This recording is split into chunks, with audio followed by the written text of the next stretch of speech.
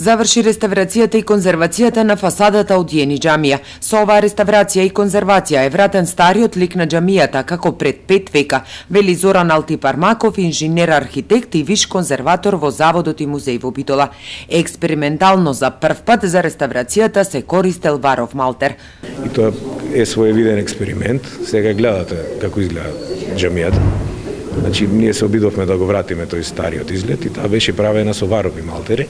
Тие варови малтери издржаа кој што се гледа негде 500 години. Се се надеваме нашите барем да издржат наредните 100 години, дека сме меѓутоа експериментално со надеж дека ја завршивме добро работата.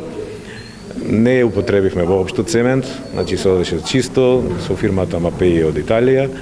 Ги испитаа малтерите, даде рецептурата, така првпат се работеше Реставрацијата и конзервацијата се одвивала во пет фази. Првата фаза се започна од натре, каде што се постави челичната галерија над отворениот дел од археолошкото наоѓалиште во наосот, од џамијата, молитвениот дел од џамијата. И потоа да продолжи надвор. Значи надвор имавме замена на дрвена меѓукатна конструкција, внатре исто имавме затворање во тремот. Третата фаза беше исто надвор во делот каде што се отвараше и се поставуваше делот на темелење, фудирање за челичната конструкција, кој што сега се поставува. И четвртата фаза беше конзервација, реставрација на фасадите, реконструкција на дрвената дограма и петата фаза сега е кој што покриваме, значи ја завршивме конзервацијата, реставрацијата и покривањето на отворениот дел надвор од џамијата на археолошкиот локалитет во Јани џамија. При изведувањето на градежните активности за реконструкција на фасадата пред џамијата се откриени нови делови за кои што треба да се изврши археолошко истражување. Се она кај што предпоставувавме, што беше внесено во цртеж, како што се ископуваше, така и се најдуваше.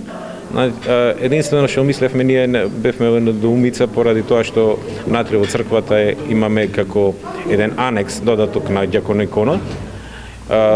Бевме во недоумица дали е петобродна базилика, меѓутоа сега се покаже дека изгледа таа е тробродна базилика со анекси и сега во делот кога се ископуваше за кабел за делот за електрична инфраструктура за шадрванот, тогаш се најде дел дека исто имаме анекс кон проскомидијата, меѓутоа малце пониско. Значи, изгледа таа е тробродна базилика, доста голема, поголема од, од джамијата негде по своите димензии, меѓутоа понатам како што ќе продолжат археолошките истражувања, така ќе се најде.